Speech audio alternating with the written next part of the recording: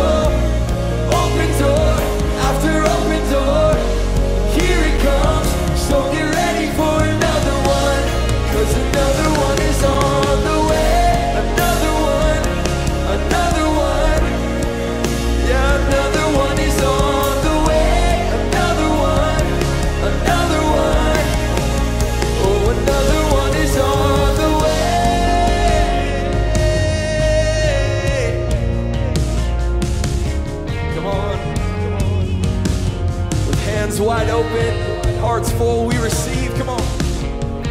The sun went to rise, and it did. He will again, and if he told the storm, yeah, and it did.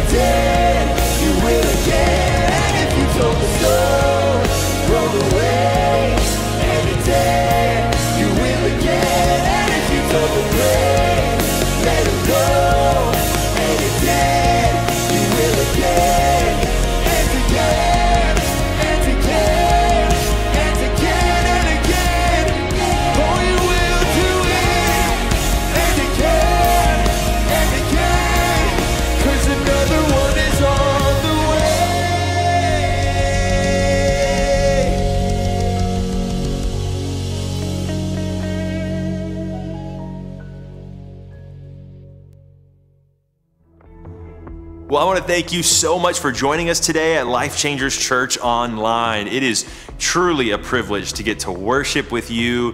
Whether you join us regularly or this is your first time with us, man, I'm so glad that you're here.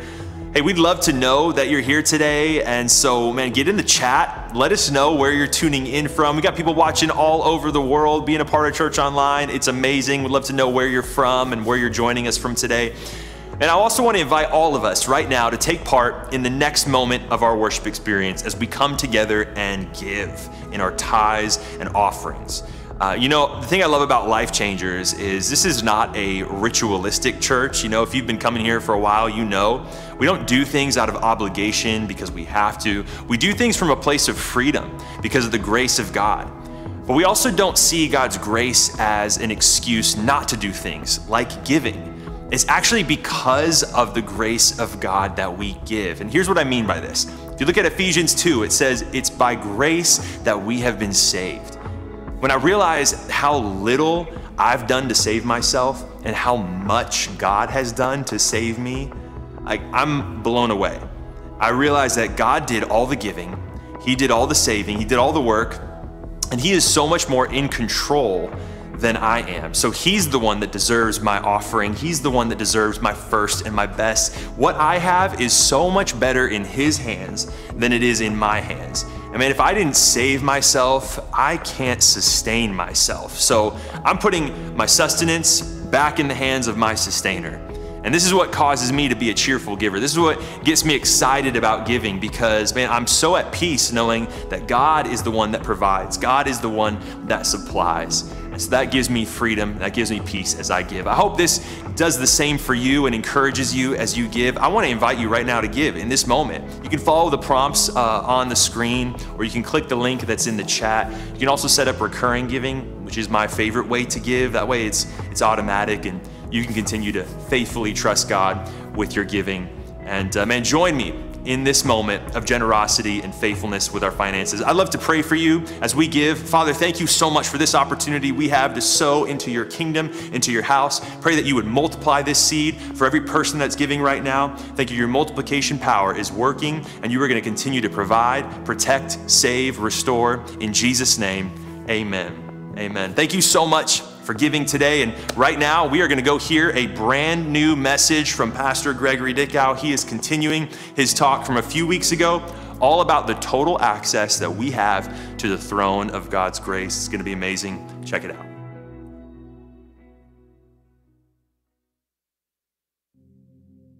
Welcome once again to Life Changers International Church. And on this beautiful Sunday, I want to just welcome you home. I want to welcome you to a church family where love never fails, where we'll teach you how to experience the love of God like you've never experienced before.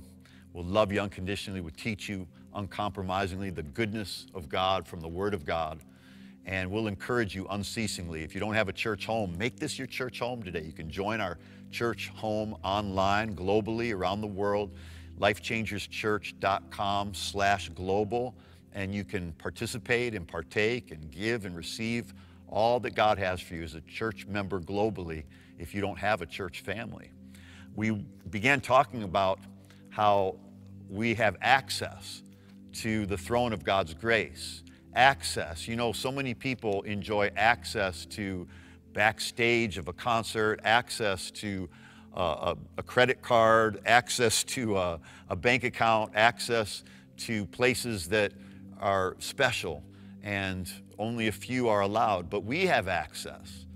And all are allowed who are washed by the blood of Jesus. All are allowed to have access to the throne of God's grace, where we receive mercy and find grace to help in our time of need.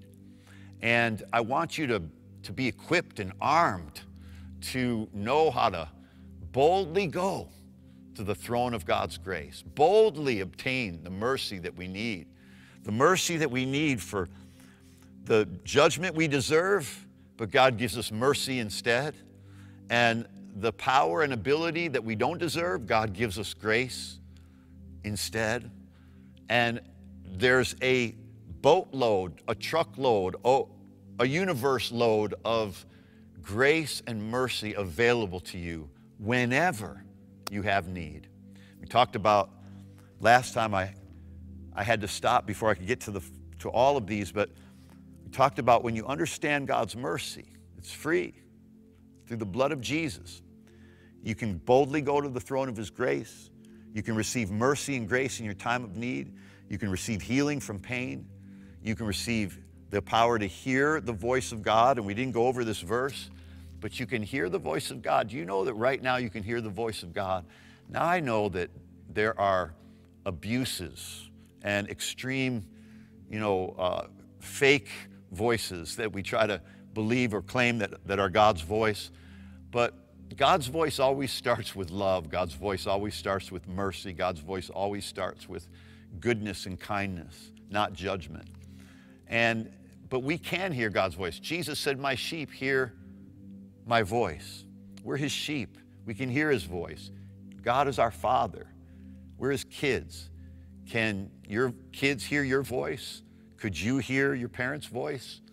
Well, God is our parent and we can hear his voice. I love this scripture in Numbers. Because of mercy, we can hear his voice. Numbers chapter 7, verse 89. And when Moses went into the tent of meeting to speak with the Lord, he heard the voice speaking to him from above the mercy seat that was on the ark of the covenant or the ark of the testament from between the two cherubim, and it spoke to him. He heard the voice from the mercy seat. He heard the voice of the Lord from the mercy seat, and it spoke to him. God will speak to you when you come to Him based on the, the, the benefit of mercy, based on the equity of mercy, based on the currency of mercy, based on the grounds of mercy. On what grounds do you come?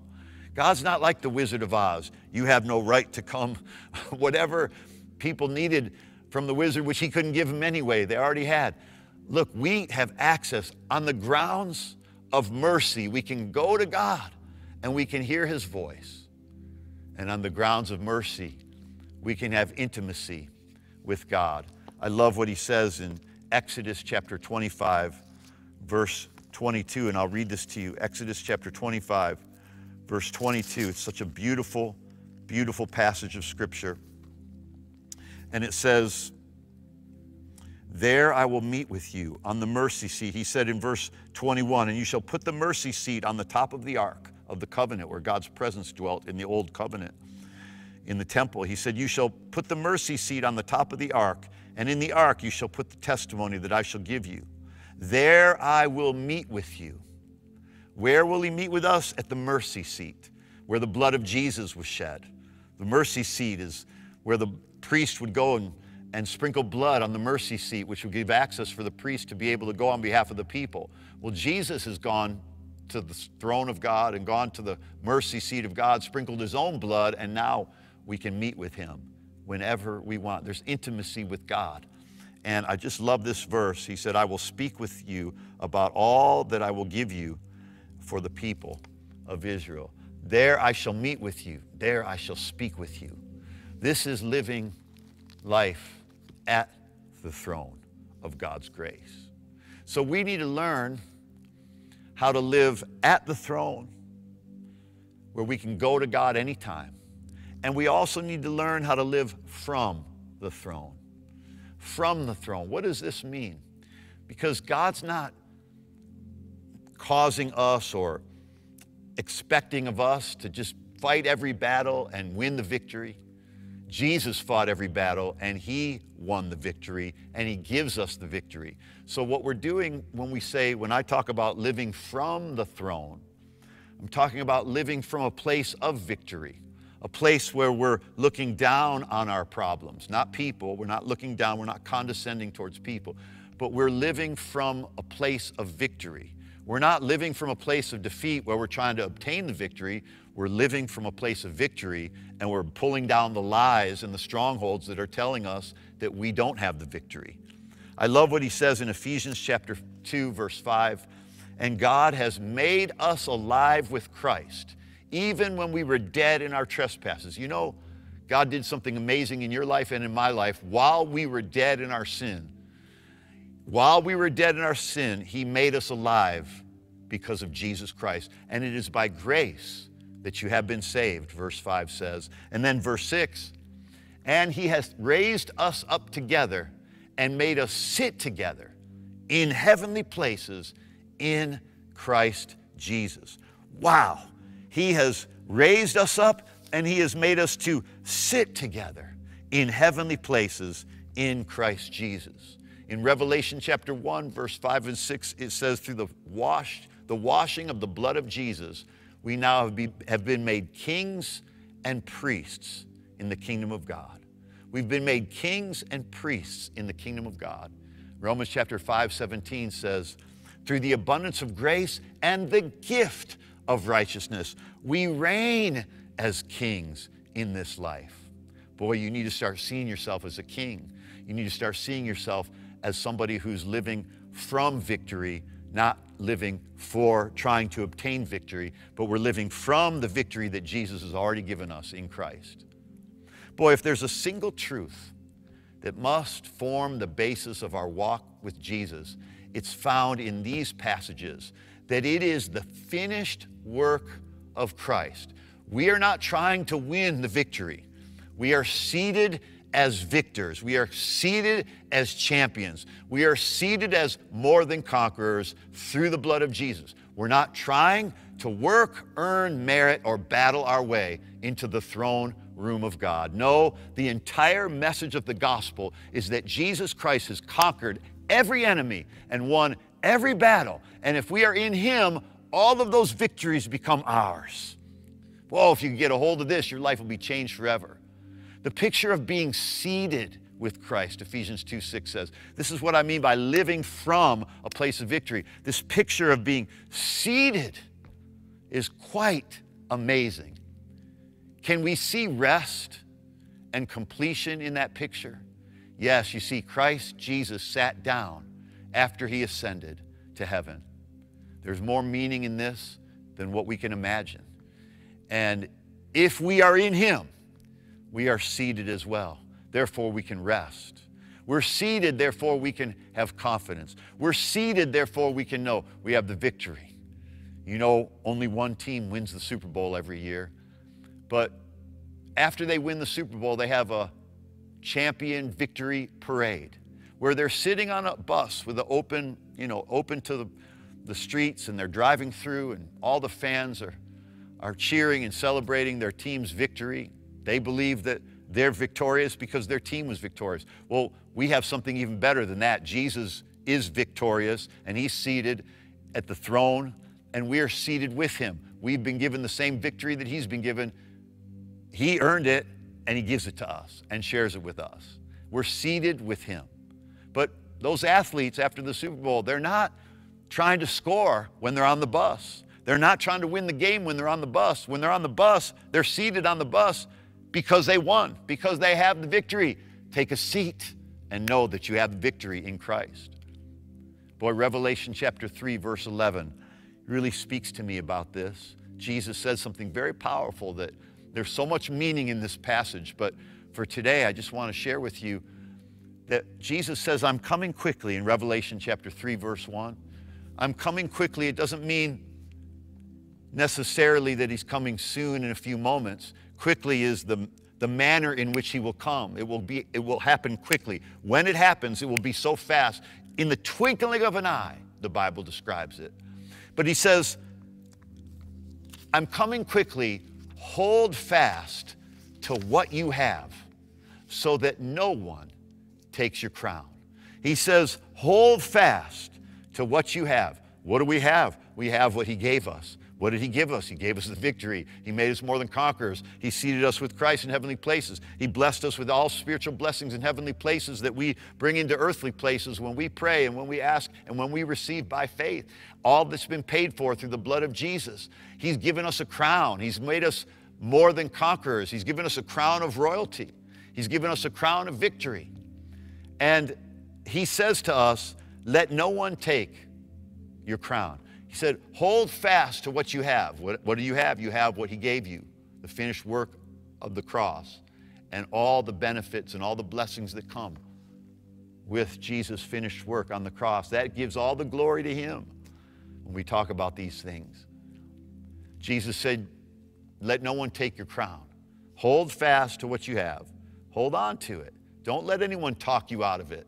Don't let anyone tell you you don't have it. Don't let the devil trick you by saying, Look at how you failed. Look at how you blew it. Look at how you're good for nothing. How dare you think you have a crown? How dare he think we don't? We have a crown because Jesus gave us his crown. We're, he, we're kings. We're kings in Christ. He's the King of kings. If he's the King of kings, that means he's got to have some kings that he's the king of. You and me are the kings that Jesus is the King of kings. Women, men, all, all, boys and girls, we're all kings in Christ. You see, when God first created mankind, He made us to be victors, He made us to be champions. He calls us more than conquerors in Romans chapter 8, verse 37. He gives us a crown of glory, gives us a crown of glory. Psalm 84, he says, What is man that you're mindful of him, and the Son of Man that you would visit him? For you have made him a little lower than Elohim. One translation says a little lower than the angels, but the actual translation is a little lower than Elohim. God has made us a little lower than himself. Jesus has seated us with him, though.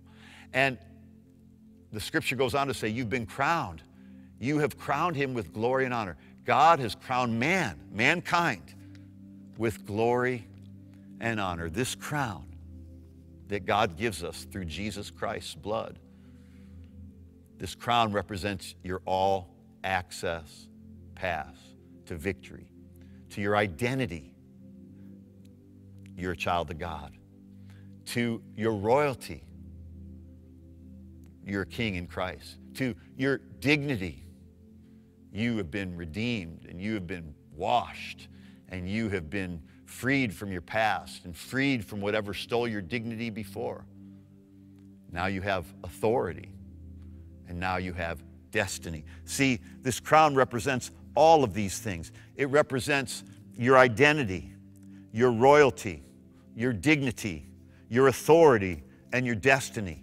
When we identify, when we realize Jesus has given us this crown and the devil's trying to get us to put it down, and the devil's trying to get us to Put it in the closet. Put it down. You're not worthy of it yet. You don't deserve it yet. That is a lie from the pit of hell. It's not about what we deserve, it's about what Jesus deserves, and He gives us what He deserves rather than giving us what we deserve. And we should thank God. We should fall on our knees every day and thank Him for that. Amen. This crown goes on the head. This is telling us something significant. Let no one take your crown. Where is the crown? You don't put your crown on your feet, you put the crown on your head. This is telling us something significant. It's our head. In our head, it's our brain. It's what we think and how we think. It controls the central nervous system of our lives. Our thinking needs to be permeated by this crown. Our thinking, your thinking, needs to be permeated by this crown and what it represents. It's a mentality that should be the lens through which we rest all of our lives on and the lens through which we view all of life through this lens of this crown. A few years ago, I started saying this, and I keep reminding myself of it. Hope it helps you too. Royalty destroys inferiority. You know, we don't destroy inferiority through education. We don't destroy, we, or we don't, yes, we don't destroy inferiority through any, anything man can do. We destroy inferiority in our lives by embracing God's royalty for our lives. He gives us royalty. He makes us a part of the royal family. Royalty, it's not just the opposite of inferiority, it's the cure to inferiority. Boy, we could just go on and on. Eleanor Roosevelt said, No one can make you feel inferior without your permission. Listen, what a powerful statement. Don't give the devil don't give others, don't give yourself permission to make you feel inferiority. One of the words for believe in the Bible or to have faith, it's, it means to permit something to be.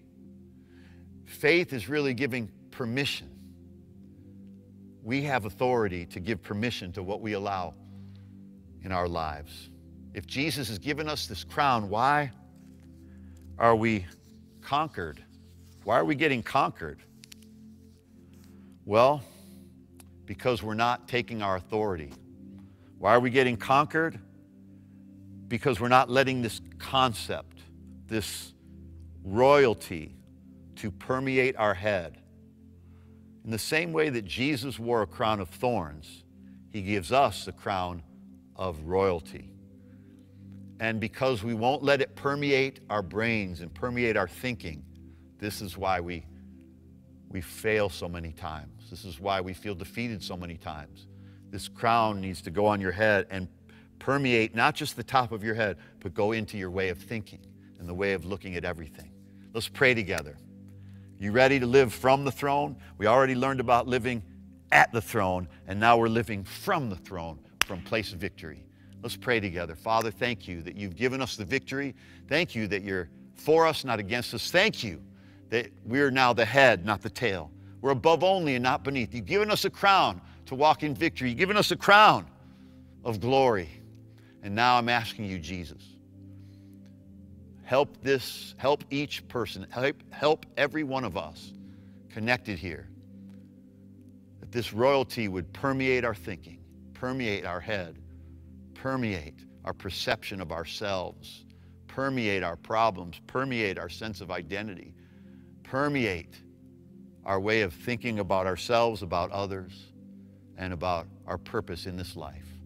In Jesus' name. Now, amen. If, no, if anybody's watching connected here and you've never received Jesus, you've never been sure that you're going to heaven when you die, why not accept the crown he's trying to give you, the crown of salvation? Pray this prayer out loud with me. Just say, Heavenly Father. Pray that, Heavenly Father. I invite Jesus into my life. I receive the gift of salvation through the blood of Jesus. Just say that out loud. I receive the gift of salvation through the blood of Jesus. And now, I believe that Jesus rose from the dead, and I am now a child of God. In Jesus' name, amen. If you prayed that prayer, would you contact me today? Email us, connect with us, social media, whatever way you can do it. But when you do, make sure to download this book absolutely free, The Power of a New Life. Let me know you prayed that prayer and download this book. It's absolutely free. You can download it anywhere in the world. The Power of a New Life. These are the next steps in this journey with God. This is, talks about the power of a new life, the power of the Word of God, the power of the Holy Spirit, the power of the church family. This will lay the foundations for your life to go forward and to build a permanent, firm foundation in preparation for you to live not only victorious in this life, but to live forever in eternity as well. Thanks for connecting with me here at Life Changers Church. I'm honored to be your pastor. If you haven't joined Life Changers Church, welcome to the family. And if you'd like to join, welcome to the family. Go to lifechangerschurch.com slash global and you can become a member of our church from wherever you live. You can start a life group, a watch party, whatever you'd like to do to bring more people into the family of God and more people into this spiritual home. Thank you again. I can't wait to see you at our next service. God bless.